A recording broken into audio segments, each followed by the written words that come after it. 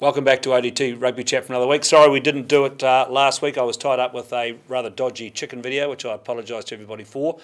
Um, but there was a big ODT story on Saturday about um, poaching of rugby players at secondary school level. And it's been a, a, topic of conversation for probably two or three years. We did have Ryan Martin from Otago Boys on here a few weeks ago, so we thought we'd get talk to some other people about this issue and how big an issue it actually really is. So with me tonight I've got Tracy O'Brien from Kavanagh College, the principal at Kavanagh College, to talk about what's going on at his school. And we've got Gary Chronican here from who wears two hats. He's the chairman of the New Zealand Secondary Schools Rugby Council, which is a big title, and he's also the deputy principal at, at Kaikorai Valley College. So gentlemen, we'll get underway and we'll talk about some of these issues. So Tracy, we'll start with you. So look, you pulled out of the Highlanders competition at a late, quite a late stage before the competition kicked off. So just talk me through, just talk us through that for a start. Yeah, it was, look, it was a big call for us. We um, started the year knowing our rugby stocks were pretty slim, particularly in our senior school. Um, we tried to give it every chance to see uh, who'd come back to school, you know, what were our numbers like, um, what guys we had from last year that had that experience. Uh, probably left it to the um, you know, 11th hour, maybe one in the morning to do it, but uh, in the end, uh, tough call, but we, we made it, um, albeit a little bit late. Um, but as I say, we wanted to give it every chance, give the boys a chance, and, and obviously as a school, we've been in part of the Highlanders, uh, had it for yeah. quite, quite, yeah, right through, and um, so to, to break from that was, you know, was very hard for the community. So was it? A, it ended up because it ended up with a lot of young, sort of. I don't know what, what year it is. Fifth formers. Fifth form? Yeah, I think um, once once we realised, particularly we had some boys who didn't come back to school from year 12 last year, uh, got jobs, went to Polytech, whatever. They were some of our key boys in, in the scrum, uh, gave us a bit of size. We were having to backfill um, with uh, some younger stocks from boys from last year's under 15s. Yep. And coming up to that grade, it just wasn't going to. It was it was just too hard. They weren't going to be able to cut it. So Gary, putting your your Kaikorai Valley hat on, yep. the Highlander the Highlander schools competition I mean, I think it's been a good thing for the schools. I, I think it gives the, the, whole competition more focus. Is it a focus for the co-ed schools to try and make the leap to get into it? Yeah, well, it's unashamedly a competition for our elite players um, and the best players around Otago and, and South, and in fact in the, in the Highlanders region. Um, there is a place for the co-ed players there. Uh, it's, uh, it's, it's really difficult for a co-ed school to survive in that competition.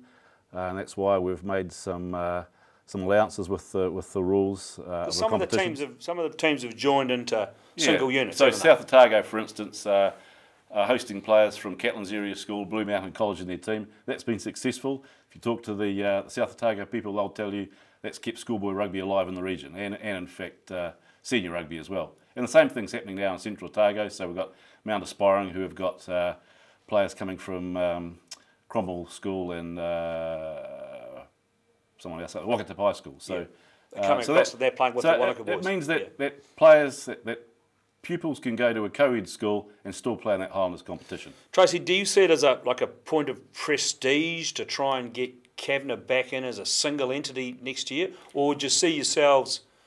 We just want to be a part of it somehow, and would, and would you look at combining with say Kaikoura Rotary or yeah, well, I, I, think it's a conversation we've got to continue to have. Um, it'd be desirable from our point of view to get back in on our own. Whether that is, uh, we could possibly do it again. Is it sustainable, and do we end up in another two, three years' time in the same right, uh, same state, and you know, and not being able to maintain that consistency?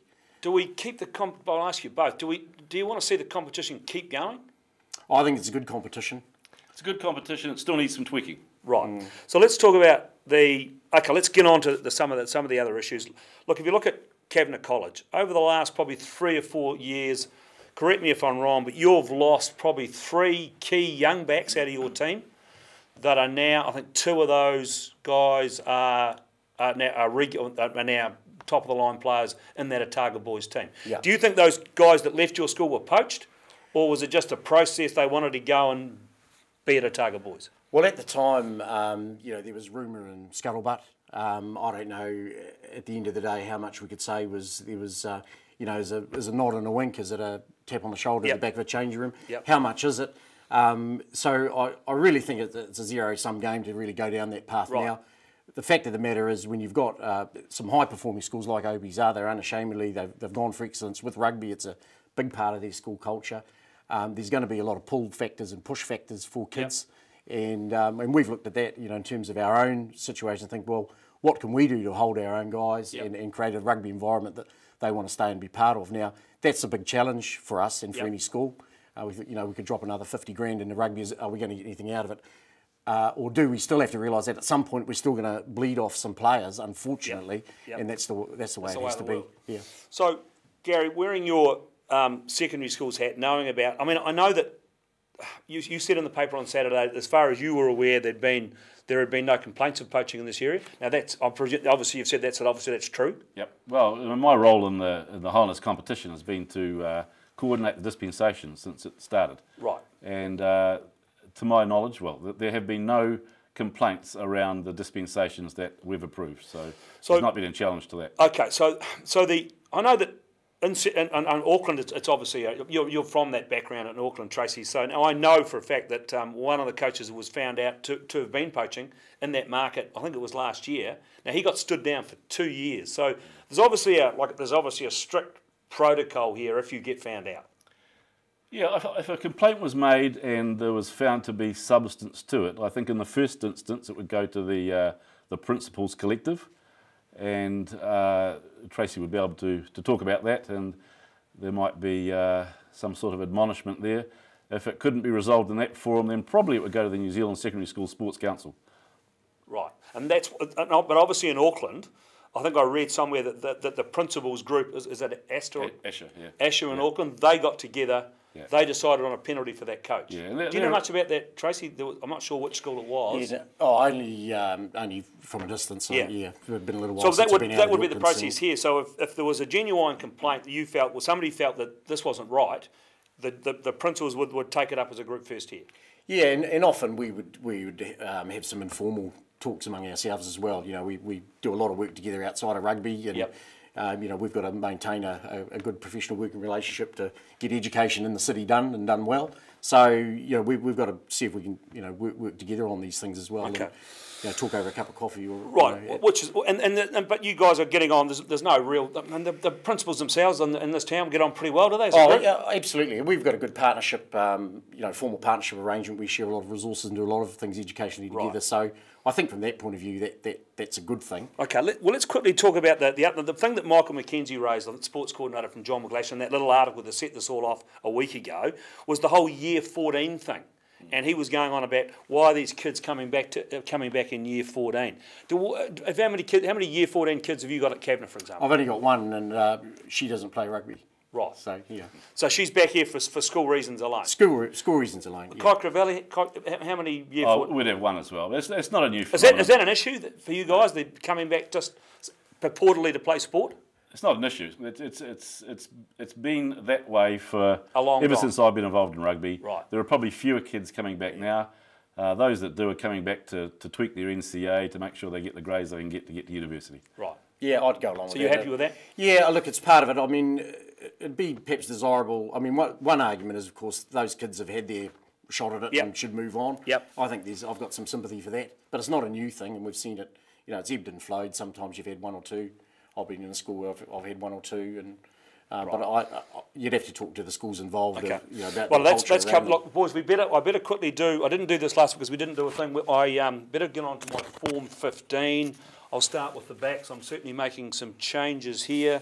Uh, I've got two new. Well, you wouldn't want to go away from Peter Brent first five. No, well, he's in. He stays in. Um, I'm taking the two wingers out. It's the two-two from Southern. Shannon Young. Well, he's pretty average. In Southern, they've been losing game after game. They're gone. So I'm putting Corey Rapini in from Taieri. He's going pretty well. This wee boy, the pikey boxer from Dunedin.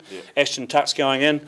I'm putting Kieran Moffat into the midfield. Matt Faddes. Go Not going that that. well, so we're putting Kieran Moffat in. Uh, we're going to put Tim Tolliver in from Dunedin because I just like Dunedin Another players. shark. Another shark. Hamish McBride. Well, he's not playing any good for Green Island, so he's out.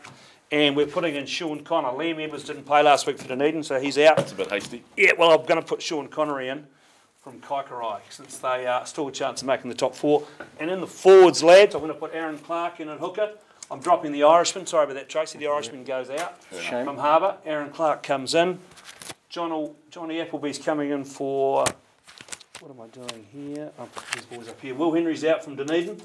And uh, Nick McLennan, he's out from Taieri. They're both gone. I'm putting in Tama Tuarangi and Craig for you to Miller from Pirate. They're going pretty well. I'm putting Carl Bloxon in for Tom Franklin, who's gone overseas on the booze in, in uh, Las Vegas. I'm putting Carl Bloxon in the team because apparently he stayed on the paddock for the first time this season on the weekend, so that was a big effort.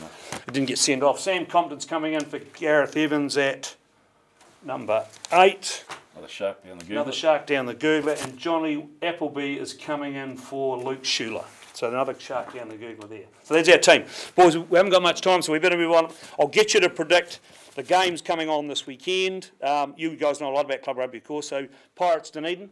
Uh, oh, I have to go to Dunedin. You go to Dunedin. Sharks easily. I've got some news for you, lads. I don't think the Sharks win this weekend. Too many players out. Well, we'll come back to that. Alhambra Union Harbour. Um, I'll go um, Alabra. Yep. Alhambra Alhambra Union. Union. Yeah, I think they win that. Green Island Uni.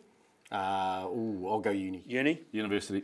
I go University. And the big game, oh, sorry, is Kaikorai Zingari. Uh, Cockroach. Kaikorai. Kaikorai on the belt. On the, they're on the belt. Yep. Uh, and the big game, Southern Taieri at Bathgate. I'll go. I'll well, Taieri. Taieri? Torrey without a doubt. Taieri. Right, lads, thanks very much for that today. Um, we will probably revisit this topic over the next few weeks again. We might get a Targa boys in for their reply um, over the next few weeks. But right now, in the big game this weekend, Taieri, the Eels coming in to play the Magpies. I just think the way Taieri are going, they'll put a nail in that Southern coffin. I don't think at this stage Southern make the four. And we'll talk to you next week.